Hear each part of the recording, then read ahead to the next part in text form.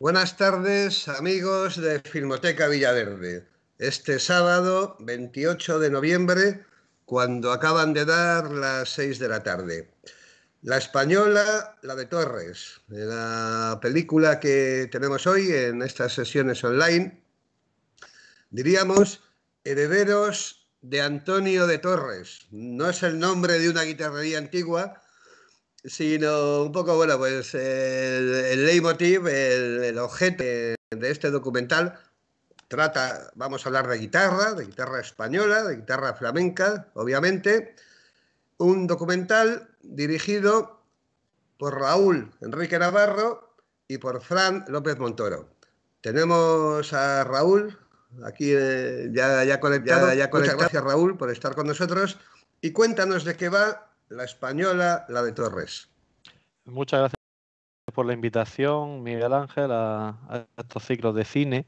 Y bueno, la española la de Torres eh, viene a hacer alusión el título a, lo que es la guitarra española, por eso la española, y a lo que fue la guitarra de Torres, que en definitiva es una conjunción que es, es la misma cosa, ¿no? Porque Torres fue un carpintero nacido en Almería, pero que en su, a sus 20 años, sus 30 años, acabó en, Granada y en Sevilla y empezó a construir guitarras en los talleres más, más reconocidos de Sevilla. Finalmente acabó unificando todos los modelos de guitarra que él veía oportunos o que él consideraba que, que daban buen sonido y acabó haciendo el modelo de guitarra que tenemos en la actualidad, eh, tanto interna como externamente. Por supuesto, hay evoluciones y hay diferenciaciones, pero la base de la guitarrería actual, tanto flamenca como clásica, nace de, las manos de Torres cuando estuvo en Sevilla y cuando luego retornó a Almería y ultimó su modelo. Eh, el, documental es un viaje a través de, Europa y de todo el mundo, recorriendo e investigando a través de los testimonios eh, de muchos investigadores, de luthieres, de guitarristas, de coleccionistas privados, eh, de músicos de prestigio. Eh, hacemos entrevistas y, ellos nos van dando su punto de vista y, su, y nos destacan la importancia ¿no? que fue este personaje que a día de hoy está completamente olvidado para, para todos los círculos, incluso musicales, ¿no? Eh, a nivel nacional e internacional. Quizás tenga más relevancia Antonio de Torres a nivel internacional que a nivel nacional. Y es que, fíjate qué curioso, Miguel Ángel, que en su momento eh, se publicó su biografía en los años 80 en inglés, primeramente. Luego se editó a japonés, se editó a alemán, se editó a italiano, se editó a francés y 30 años después se editó en español. O sea que eso nos dice un poco cómo, cómo consideramos los españoles a nuestro, nuestro patrimonio. Y bueno, pues esto es eh, una película que está contada a través de los testimonios y a través de la música eh, de aquella época, del siglo XIX, principios del siglo XX, con esos esa música de, de Granados, de Tárrega, de Llobet, eh, de Schubert. Eh, es un poco una música europea, una música española, una música flamenca también. Está el maestro Lecuona, por ejemplo. Hay una, una malagueña, se toca una rondeña. Entonces, bueno, es un viaje a, esa conjunción de, la guitarra de Antonio de Torres. Lo de, decíamos lo de herederos de Antonio de Torres porque los productores, guionistas y directores del documental Fran López Montoro y Raúl Enrique Navarro, aquí presente, son descendientes. Ellos dos son primos entre sí, primos de sangre y tataranietos, creo, de, de Torres. Correcto, correcto. Correcto.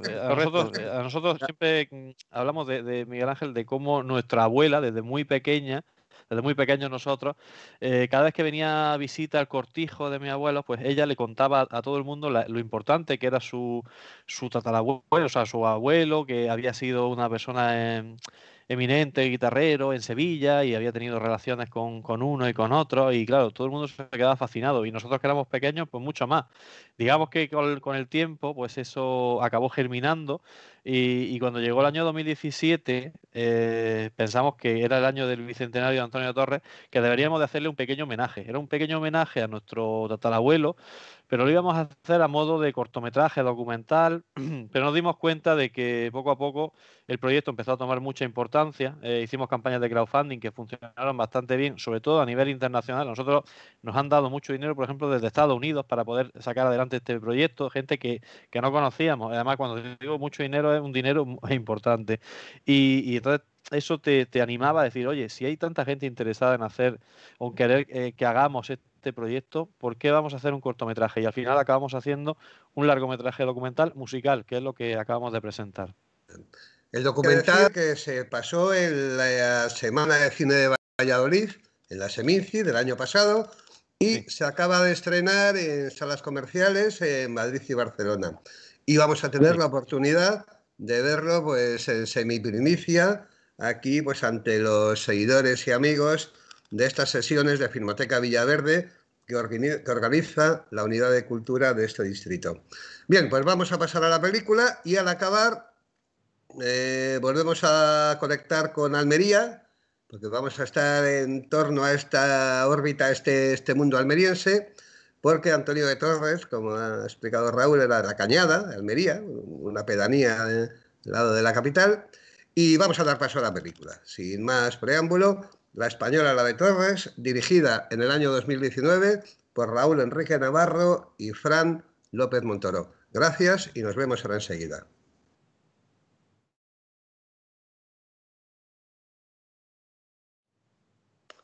Hola de nuevo, amigos de Filmoteca Villaverde. Pues esto era La Española, la de Torres. Y con nosotros está de nuevo, desde Almería, Raúl Enrique Navarro, uno de los dos codirectores de la, de la película. Estamos, eh, la cronología está muy clara en la película, estamos a mediados del siglo XIX, Antonio de Torres, Antonio de Torres nace en la cañada, en la cañada de San Urbano, ¿no? Me parece que en la cañada de San Urbano, al, lado de, Almería. Eh, Julián Arcas, otro personaje importante, el, coprotagonista, digamos, de, la, de nuestra historia, eh, nace en la Sierra de María en el, el año veintitantos, la Sierra de María, que es el punto más alejado de la, capital almeriense. Eh, Antonio de Torres había nacido una década después y es muy curioso esa química que se forma entre ambos. Pero antes de pasar a ello, yo quería preguntarte algo obvio y que tú ya has apuntado antes, Raúl. ¿Cómo se puede explicar este desconocimiento de la figura de Antonio de Torres, alguien tan esencial, para la guitarra moderna de la guitarra española, lo que, quien modeló la forma de guitarra que se conoce hoy en día, y también para el flamenco, puesto que la, guitarra flamenca bebe de esa, de, esa construcción que Antonio de Torres. ¿Cómo es posible que ese desconocimiento, incluso en su propia tierra, haya, se haya dado hasta hace muy poquito? Hace muy poquito? No, no, no, sé responder. Eh, no sé, hay muchos factores, imagino, culturales que tienen que ver con la condición de, no sé si de, identitaria, que no me gusta tampoco hablar de este término, pero sí que hay muy poca preocupación eh, a nivel académico, a nivel investigativo sobre el patrimonio musical de este país. Hay mm, investigaciones que apuntan hacia sencillamente las músicas, los artistas, pero claro, nadie... Mm, hace nunca estudios sobre organología. Eh, me matarán los organólogos que sí lo han hecho, ¿no? Y además en el, documental hay doctores y doctoras en, musicología y en organología, pero no, eh, ellos mismos me decían, no se apuesta desde el mundo académico por hacer unas investigaciones serias, cosa que por ejemplo en Italia sí que te encuentras muchísima investigación organológica. Eh, de los instrumentos de cuerda, ¿no? Por eso sabemos tanto de Stradivari, de Guarnieri, de Amati, incluso de, Torres. Fíjate que nosotros estuvimos en, Italia en una exposición que hubo en el Museo de Stradivari sobre Antonio de Torres. Aquí en Almería hay un pequeñito museo dedicado a su figura, el Museo de la Guitarra, eh, pero al final son cosas que son un poco marginales, ¿no? Porque al final es un museo que está en Almería y en, Madrid o en Barcelona, que fue tan importante en estos dos sitios, no, no se termina de conocer hoy día a, a, persona tan relevante. Yo te sabría explicar esto, Miguel Ángel? No sé si es eh, la condición nuestra o el poco interés por el patrimonio o por el poco interés por el poco por el patrimonio musical, no lo sé. el tema sería, perdón, el tema sería largo. Claro, claro. El binomio Antonio de Torres, Julián Arcas. Cuéntanos, pues, cuéntanos. Pues, pues fíjate qué importante que sea eh, un guitarrero de, tan tan bueno, que además era carpintero y por eso tenía tanto conocimiento ¿no? de la madera, y se juntara con otro almeriense en Sevilla, eh, y era un, guitarrista, Julián Arcas, que además había hecho muchos conciertos internacionales, de hecho él está documentado que tocó en la Casa Real inglesa, por ejemplo, estuvo muchos años también en Italia, y cuando vuelve a Sevilla coincide con Antonio de Torres, hablan y, se genera una química muy importante, seguramente porque eran paisanos, vaya usted a saber, pero finalmente porque los dos eran grandes conocedores de la música y del instrumento. Y es verdad que había instrumentos en aquella época que eran guitarras que sonaban bien, pero que con los años iban perdiendo fuerza, iban perdiendo sonoridad, y Julián Arcas tenía un gran conocimiento sobre el repertorio de, la música española e internacional y Antonio Torres tenía muy buen conocimiento sobre cómo le podía sacar sonido a la, a la madera. Y entre los dos diseñaron lo que fue la guitarra moderna, gracias a los porque es verdad que Torres tenía unas manos privilegiadas para hacer guitarra, pero era Arcas el que le requería, ¿no? E, esas manos que fueran, el que construyeran, como se dice en el documental, una garganta con la que expresar, ¿no? La, música que él quería. Y claro, Arcas tenía un repertorio que iba desde lo clásico más profundo hasta los albores de, del protoflamenco, digamos. Eh, entonces, eh, construir un instrumento que llegara de un sitio al otro era muy complicado. Claro, al escuchar los instrumentos que tocaba Julián Arca en su época, todos los guitarristas, como Paco de Lucena, por ejemplo, guitarrista flamenco importantísimo, querían los instrumentos de Antonio de Torres. Y Paco Lucena, por ejemplo, tocaba eh, la guitarra de Antonio de Torres. Pero al mismo tiempo que Paco Lucena lo hacía en el toque más popular, en el toque flamenco, eh, Tárrega eh, buscaba el repertorio más clásico de, Antonio de Torres. Es decir, tenemos las dos vertientes, la misma guitarra, por eso es la guitarra española, ¿no? Eh, porque de ahí nace todo. De ahí nace la guitarra clásica y la guitarra flamenca. Eh, luego sabemos que Ramírez en Madrid lo que hace directamente es copiar y editar las guitarras de Antonio de Torres. Además están sus documentos testificados y, se pueden leer acerca de cómo hacía la, copia, cómo veneraba la, guitarra de Antonio de Torres. Y, Ramírez es, digamos, también piedra angular de, la guitarra flamenca. Y sabemos que está bebiendo de, de la guitarra de Antonio de Torres, bebiendo, copiando directamente sus modelos. Pero bueno, eh, eh, eh, al respecto de Julián Arca y, Antonio de Torres, por supuesto es una conjunción que es la que configura la, guitarra que tenemos hoy día. Arca sabíamos algo más, sobre todo últimamente, hay que citarlos, gracias a los estudios de Guillermo Castro en Murcia, de Norberto Torres en Almería y de Faustino Núñez en Córdoba. Pero una curiosidad, de Antonio de Torres, de Torres, ¿cómo llegáis tu primo y tú, cómo llegáis Fran y tú, a interesaros, en, dicho de otra forma, vosotros desde pequeños en la familia, ¿qué idea tenían vuestros padres, abuelos y demás de la figura de vuestro tatarabuelo? ¿Y cómo pues, llegáis vosotros a interesaros y a investigar en torno a, su, figura y a su persona? A ver, eh, en definitiva, resumiéndote que también nace todo de que nosotros somos muy cinéfilos, nos gusta mucho el cine, nos gusta, hacemos nuestro trabajo de cortometrajes, videoclips. Y bueno, mm, escuchar desde muy pequeño y tener como nosotros eh, aquí, como toda la familia me imagino, se reúnen normalmente un día a la semana, si se puede, pues nosotros todos los domingos íbamos al cortijo de, mi abuelo, que precisamente está en La Vega, La Vega de Almería, es una zona de, campo que coincide o que comparte Almería con el barrio de La Cañada. Son cortijos antiguos, eh, donde vivió precisamente Antonio de Torres. Hay un río que los separa, que es la Vega de allá y la Vega de acá. La Vega de acá es la de Almería y la Vega de allá es la de La Cañada. Eh, entonces, eh, el, visitar a, nuestro abuelo y ver ese cuadro grandísimo que teníamos sobre Antonio de Torres con su guitarra La Cumbre. Entonces, claro, desde pequeño tú estás preguntando, bueno, ¿y este señor quién es? ¿no? Y eso como que se te queda en el imaginario toda la vida. Claro, cuando empezamos a madurar y empezamos a, darnos cuenta de la importancia del personaje, eh, gracias a otro primo que también estuvo investigando bastante la figura de Antonio de Torres por su cuenta, pues hablamos con él y él nos puso en el camino de, hablar con luthieres de aquí de Almería.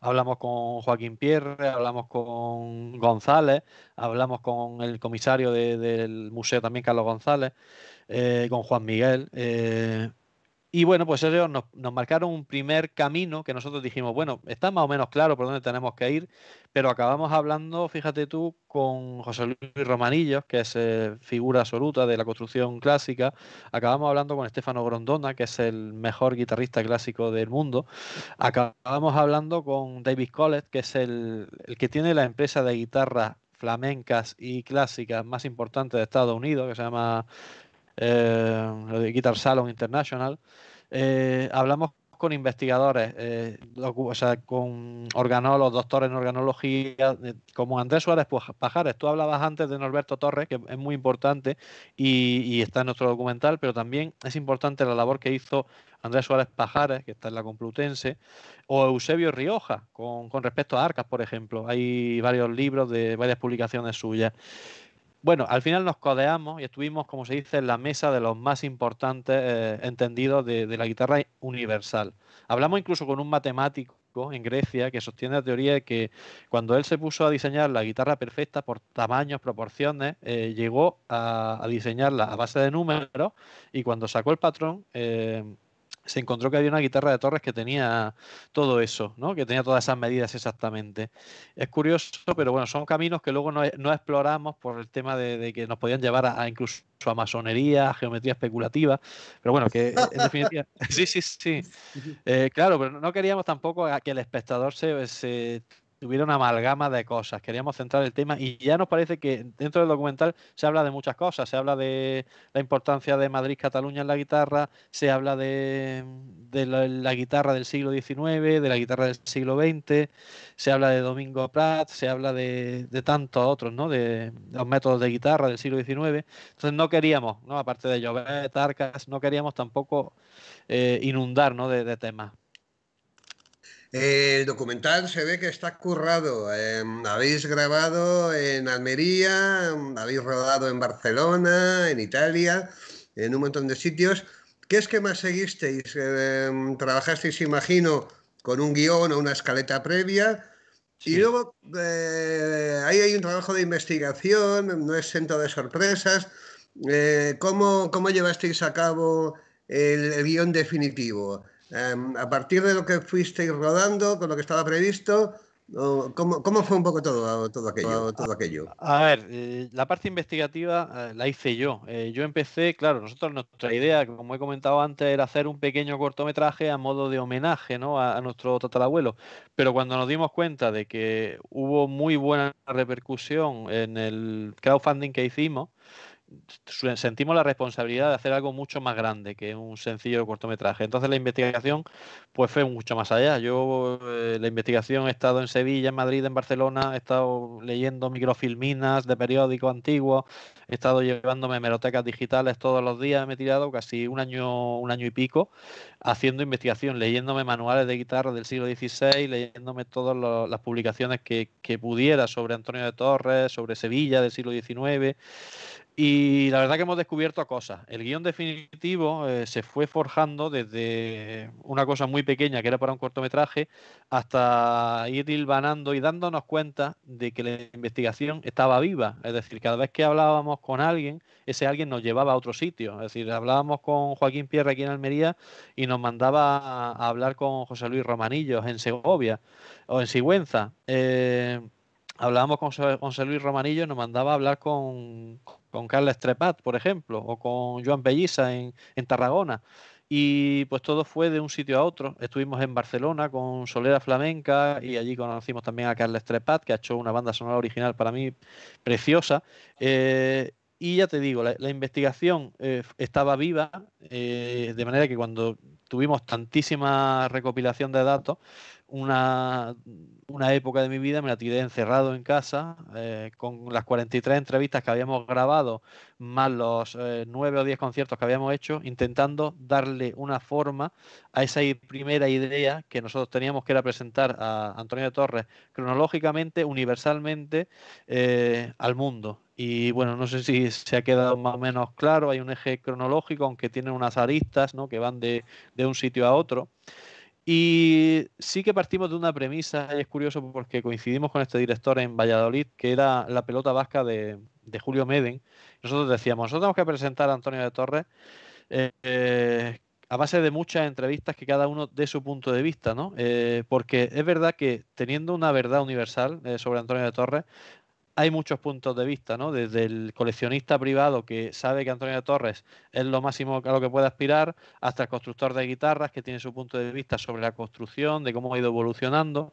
Entonces, sentar a todos en el mismo sitio y que cada uno diera su punto de vista, pues era un poco la premisa inicial y la que hemos querido mantener durante todo el documental, siempre acompañado de una música que tuviera un sentido. Y cada, cada música, cada pieza musical está interpretada con una guitarra concreta de una época concreta que pertenece a, a la época de la que se está hablando en ese momento, eh, una pieza concreta, por ejemplo, cuando suena Granados, está sonando, eh, luego sale Schubert, cuando se está hablando en, de la época alemana, ¿no? de, Antonio de Torres, de cómo se difundió su guitarra a, raíz de, del encuentro con, con Hauser, que también es una persona muy importante que sale en el documental.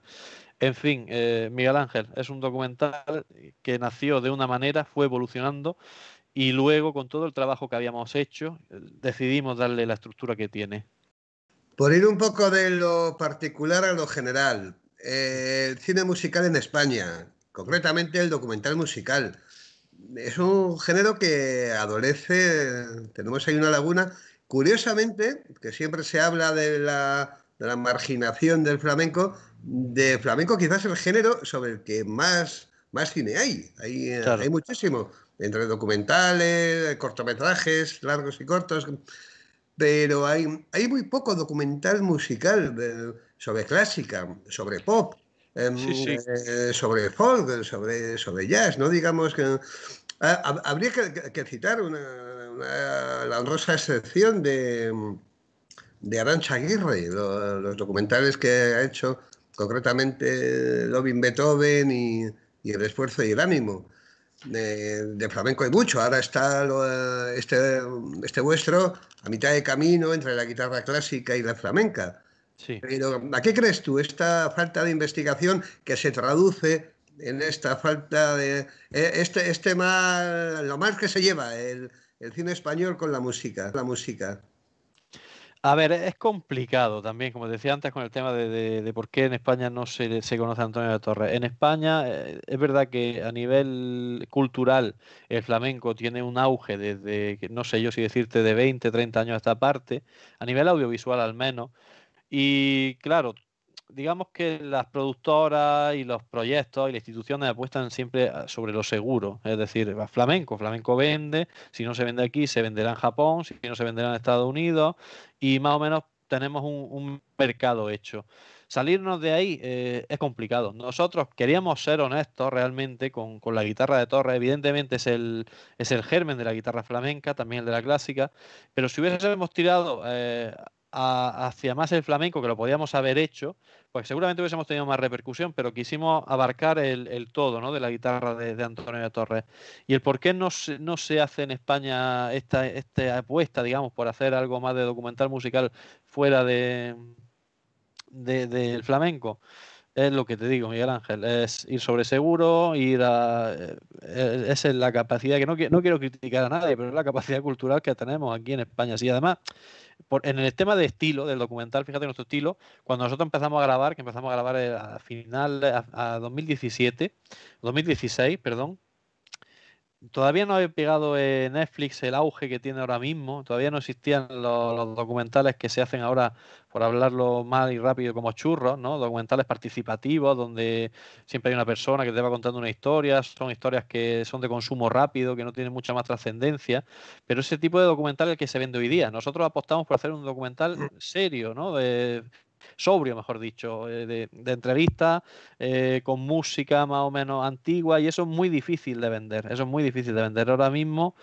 Si se vende el flamenco tiene que ser algo muy rápido, un consumo que el espectador lo entienda rápido y si se vende otro tipo de documental tiene que ser algo más entre comillas. No quiero decir que, no haya otro tipo de documentales que triunfen, pero el patrón ahora mismo está claro. Y, hacer este documental a nosotros fue realmente una apuesta. No sé si valiente, pero por lo menos una apuesta por decir, mira, tenemos que ser consecuentes con un señor que fue eh, carpintero en el siglo XIX, hizo la guitarra, y lo que no podemos hacer es un documental súper dinámico a la hora de, de que se nos vea a nosotros entrevistando a la gente, en fin es complicado todo. No, no, en ese sentido, por lo menos hay que alabar la, coherencia y, el rigor con el que lo habéis afrontado. La película se vio en Valladolid, luego estuvo parada por la pandemia, se aplazó incluso su estreno. Ahora, como hemos dicho antes, se acaba de estrenar y bueno, pues seguro que va a estar rodando por ahí, por el circuito cultural, pues por un puñado de, de, meses, aparte de que, bueno, es una película que queda ya para el archivo de la historia del documental español. No sé si quieres añadir algo más en este sentido o, el, del que nada, quieras, eh, decir también que se puede también disfrutar a través de más plataformas, eh, aunque estamos pendientes de, por ejemplo, ahora mismo vamos a, otro festival, que no quiero decirlo porque estamos en trámite, vamos a otro festival ahora mismo, eh, pero también se puede ver a través de, Filming, de Flixolé, se puede ver a través de Prime Video, o sea que al final el espectador va a tener la capacidad de, poder verlo. Que por un lado, antiguamente cuando se estrenaba en salas de cine era suficiente, pero hoy día el que un documental permanezca en plataformas de vídeo eh, está muy bien. Y por ejemplo a nosotros nos, satisface mucho ver que en Filming está teniendo muy buena acogida, tiene muy buena media, su muy buena valoración y bueno, y que gente como vosotros apueste por este tipo de documental, pues nos enorgullece realmente, porque es un trabajo que, nos ha exigido muchísimo y que hemos querido hacer con toda la, dignidad del mundo, de verdad. Perfecto, Raúl. Pues resulta digno de elogio esta coherencia y, mm, que, demuestra la película y que habéis eh, demostrado tu primo y tú a la hora de rodar la española, la de Torres. Muchas gracias por haber estado aquí. Gracias por la película y gracias a todos los seguidores de Filmoteca Villaverde. Un abrazo y hasta el próximo día.